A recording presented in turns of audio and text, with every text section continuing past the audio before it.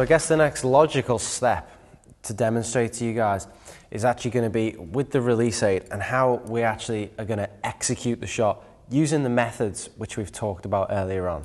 Sort of the engagement of the shot. Because in theory, you know, we've got the scapula loaded, we've got the front arm strong yet dynamic, but we've still got to engage, we've still got to approach the release aid to make the shot fire. Definitely. And I think it's important to note at this point that when we're making the shot fire, this is certainly not a conscious decision on our part. I mean, I'm going to talk through the trigger release operation to begin with. And for me, I'm going to pull back and I'm going to load up that scapula. And as I do that, I like to lay my thumb just onto the barrel of the trigger and feel the weight of the trigger underneath my thumb. And then I start to move that scapula back gently.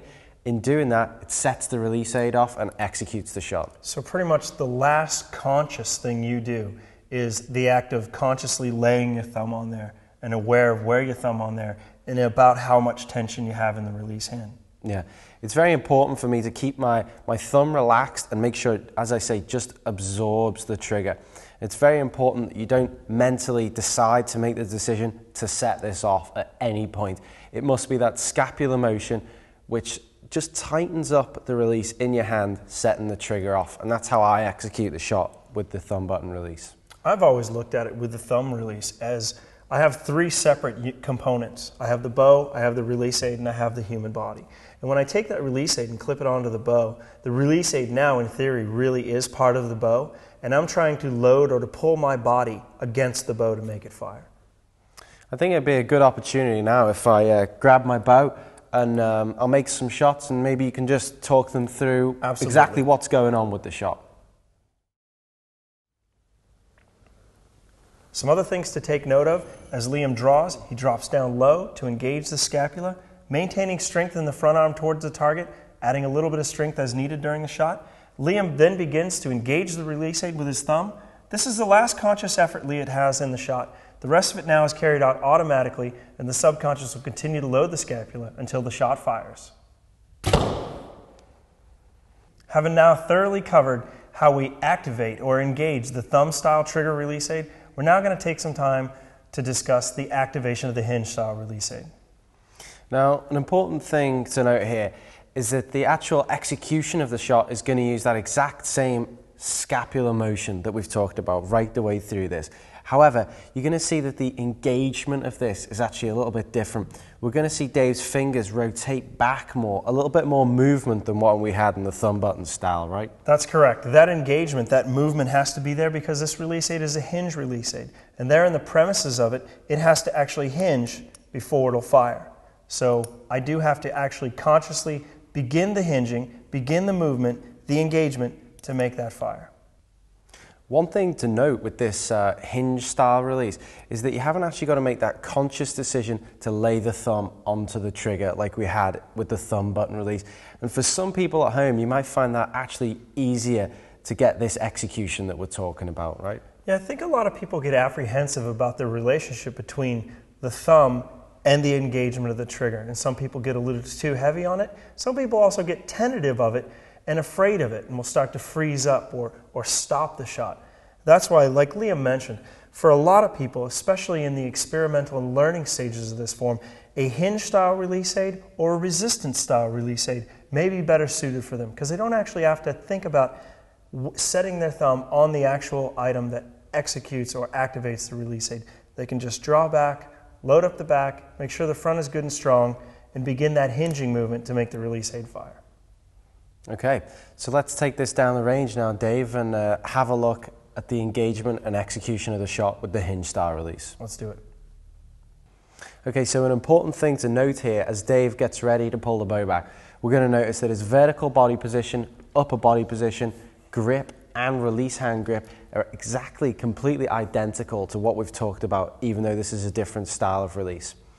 So as Dave pulls back now, we can see that he engages his scapula in exactly the same way, loads up. But in order to consciously start to make the shot process, we can see his release fingers actually twist back on the release aid in order to execute.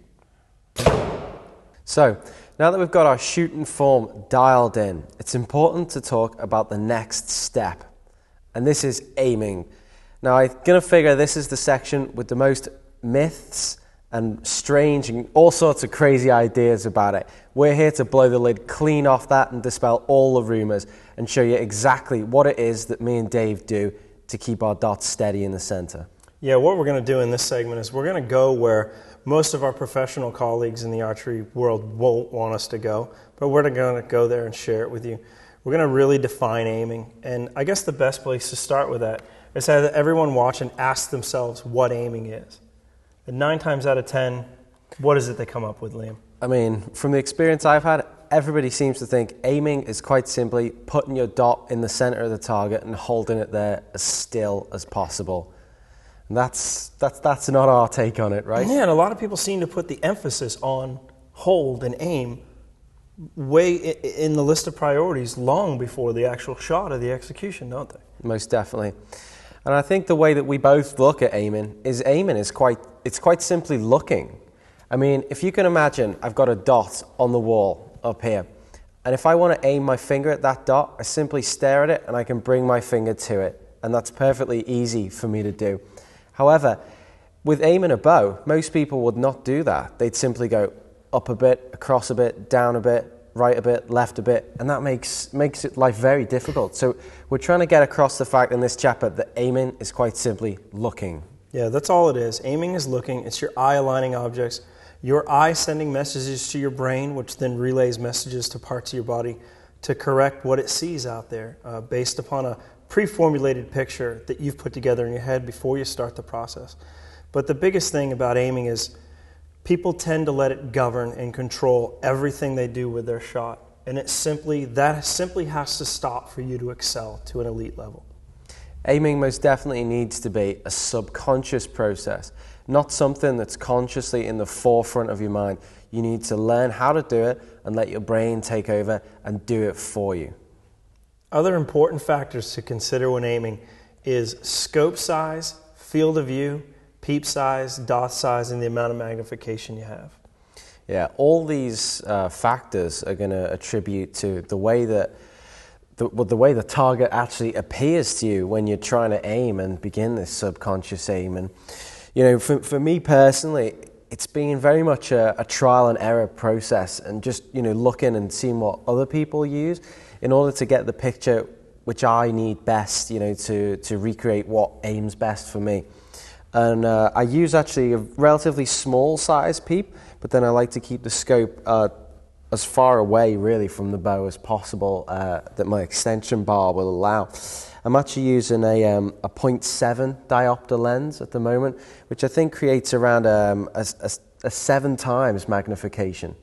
For me, I'm actually, um, I prefer a little bit bigger peep actually, because the peep size and scope size have to kind of match up together. And that's one of the key fundamentals of alignment and aiming. And I mentioned it before, but I want to reiterate it here is that your scope housing is able to be seen incomplete so that your scope and peep line up together like two circles. I think that's definitely essential with the beginning of it. Um, so my peep tends to be perhaps a little bit larger than yours, but I am shooting a scope that's a little bit bigger housing and field of view. Yeah, I find I can, when I look through my peep sight, I can literally just see the rim of the scope. So like a halo me, around it That works better. That also gives me the most clarity in my lens because I do like quite a clear picture to aim with. Yeah, I find if I go really small, I get the clarity, but I lose the light. And I think in a lot of places, having that light is more important than the clarity for sure. In terms of dot size, also, I mean, basically, the, the bigger your dot is, the less it will appear to move. Am I right? Well, yeah, that's true. But however, the more target it covers, and a lot of people do have problems with, you know, they see the target, they put their spot on the target, it covers more than they're comfortable with seeing. So they end up playing kind of a peekaboo game and checking and see if it's still there. So I think dot size is definitely something that's very personal preference. But we've got a method in which we look at the target that might be a little bit different than everybody else's. Yeah. And uh, one thing I would say is if you go for a dot size which is too big for you and it actually uh, obscures too much of the target, it's a common problem that if you need to aim off for windy conditions or any other adverse conditions, the big dot is very imp- imprecise and inaccurate. Yeah? It can be when you're trying to aim off in, in windy conditions at long distance. It can, you know, too big a dot can cover too much of a color band, and can be definitely a little difficult. But uh, I think if you can get your dot size down so that you're looking at the target a little bit differently, I think, than anybody else does. A lot of people say you want your dot to, you know, to be as small and as precise as possible. But the smaller you get the dot, what happens? Well, the more it moves and yeah. makes your life more difficult. But the, way that we aim with this subconscious aim, for me, I like a, a relatively small dot, but not for outdoor archery, but, but not too small. Whereas indoors, I feel that without the adverse weather conditions, and you know, it's um, my dot tends to hold a little stiller indoors. I like to go for the bigger one, and this gives me the appearance of it holding very still. Which, when you've got to make that super X in the center of the target, it can be very difficult. Yeah, tell me about it. I, kind of in my sight picture indoors, 18 meters. What I'm looking to do is to have just a halo of yellow all the way around my dot. Now, myself, I shoot a black dot. You might like orange, green, red, however. Color is irrelevant. Something that's appealing and pleasing to your eye. But I think if you can turn things on the flip side a little bit and look at them differently and start to look at what's around your dot rather than what's behind your dot, I think you'll start holding steadier almost immediately. I guess the other option, which we've actually got to dots in our scope lens, is um, the ring, the opportunity maybe to have um, a, you know, a circle around with um, a hollow center so you can actually see exactly what it is that you're, you're aiming at.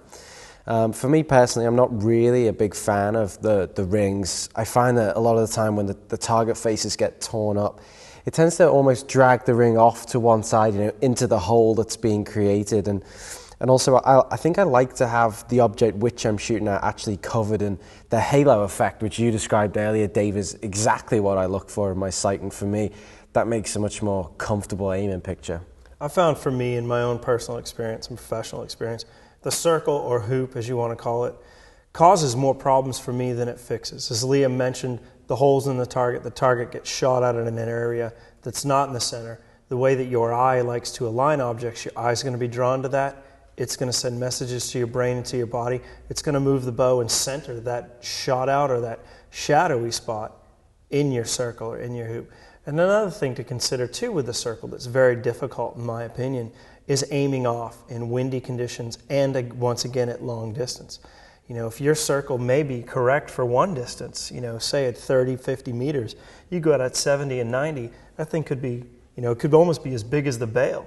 And then the adverse is true. If you get it small enough so it works good at the long distance for you, it could be entirely too big at the short ones or too small. Definitely. And I don't know, Dave, have you ever seen those guys that are in the middle of the FITA at the change of distance? they're pulling the extension bar in and out. Well, that's. yeah, in and out of, they got a whole pocket full of lenses and peeps and apertures. And I think, you know, simplicity. Exactly. That's something I don't want to go through as a professional, and you shouldn't have to go through it as an amateur recreational archer. Is having to have all this extra gear, having to make all these changes for all these different distances. It's just simply not needed. It's really, and, and this uh, reiterates, it's really important to have a very simple sight picture with the halo, which is what me, me and you both look for, you know, in the shot. Yeah, I think simplicity rings throughout our, our philosophy, our form, our setup our equipment selection and, and the maintenance of it. We, I really like to preach simplicity. Keep things as basic as possible so that when something does go wrong, you can recognize it and fix it really fast before it causes you too much damage. Hopefully, we've dispelled a lot of the myths about aiming. But most importantly, when aiming, you've got to have a sight on your bow which you can depend on.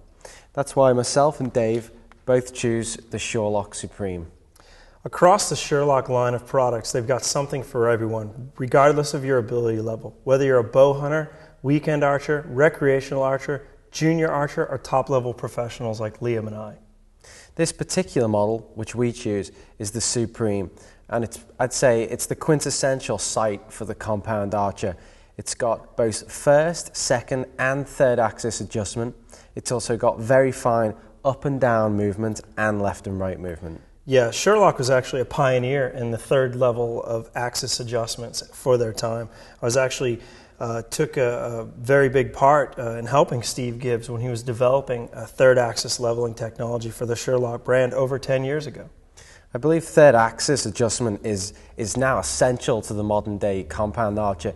Uh, myself and Dave are both um, multi functional, you know, in the types of archery that we do, both indoors, outdoors, and field For field archery, especially, if you don't have that third axis adjustment absolutely perfectly, the chances of hitting the same target at a degree of 45 degrees up and an angle of 45 degrees down is going to be almost impossible. Yeah, whenever I do seminars or clinics, or anytime I actually break out my Sure-Loc third axis leveling tool, it pretty much puts on a full on leveling seminar.